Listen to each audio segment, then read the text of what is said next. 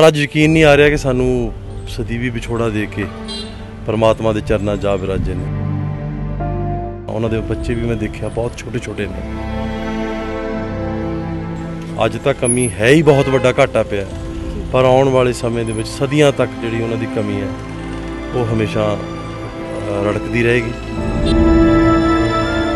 Sir ਅ, ਅੱਜ ਇੱਕ ਉੱਗੇ ਪੱਤਰਕਾਰ ਬਹੁਤ ਅੱਛੇ ਲੇਖਕ ਨੇ ਜਿਹੜੇ ਇਸ ਵਿਛੋੜਾ ਸਾਨੂੰ ਦੇ ਗਏ ਨੇ। ਕਾਲੀ ਜੀ ਦਾ ਤੇ ਮੈਂ ਸਮਝਦਾ ਕਿ ਸਾਡੇ ਸਮਾਜ ਦੇ ਹਰਮਨ ਪਿਆਰੇ ਮੈਂ ਤਾਂ ਇਹ ਕਹਾਂਗਾ ਨੇਤਾ ਜਿਹੜੇ ਸਾਨੂੰ ਲੀਡ ਕਰਦੇ ਸੀ ਸਾਡੇ ਸਮਾਜ ਨੂੰ ਸਿੱਖਿਆਵਾਂ ਦਿੰਦੇ ਸੀ ਔਰ ਜਿਨ੍ਹਾਂ ਨੇ ਸਾਹਿਤ ਦੇ ਵਿੱਚ ਬਹੁਤ ਰਾਸ਼ਟਰੀ ਪੱਧਰ ਤੇ ਅੰਤਰਰਾਸ਼ਟਰੀ ਪੱਧਰ ਤੇ ਬਹੁਤ ਵੱਡਾ ਨਾਮਨਾ ਖਟਿਆ। ਪਰ ਅੱਜ ਯਕੀਨ ਨਹੀਂ ਆ ਰਿਹਾ ਕਿ ਸਾਨੂੰ ਸਦੀਵੀ ਵਿਛੋੜਾ ਦੇ ਕੇ ਪਰਮਾਤਮਾ ਦੇ ਚਰਨਾਂ ਜਾ ਵਿਰਾਜੇ ਨੇ। ਬੜਾ ਅ, ਨਾ ਵਿਸ਼ਵਾਸਯੋਗ ਹੈ।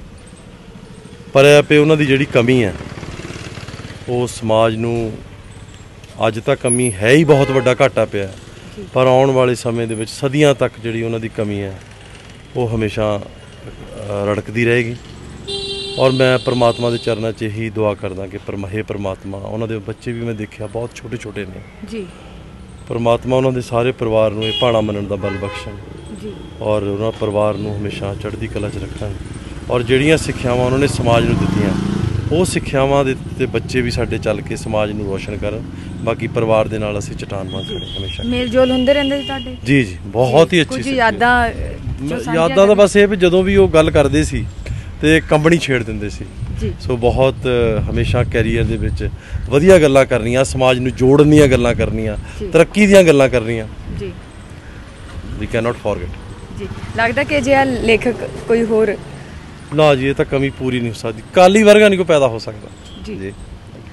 ਸੋ ਸਰ ਨਾਲ ਗੱਲਬਾਤ ਕੀਤੀ ਸਰ ਕਹਿੰਦੇ ਕਿ ਬੱਚੇ ਵੀ ਬਹੁਤ ਛੋਟੇ ਛੋਟੇ ਨੇ ਅਸੀਂ ਪਰਿਵਾਰ ਦੇ ਨਾਲ ਚਟਾਨ ਵਾਂਗ ਖੜੇ ਰਹਾਂਗੇ ਤੇ ਲੇਕਿਨ ਕਾਲੀ ਵਰਗਾ ਕਹਿੰਦੇ ਕੋਈ ਹੋਰ ਨਹੀਂ ਆ ਸਕਦਾ।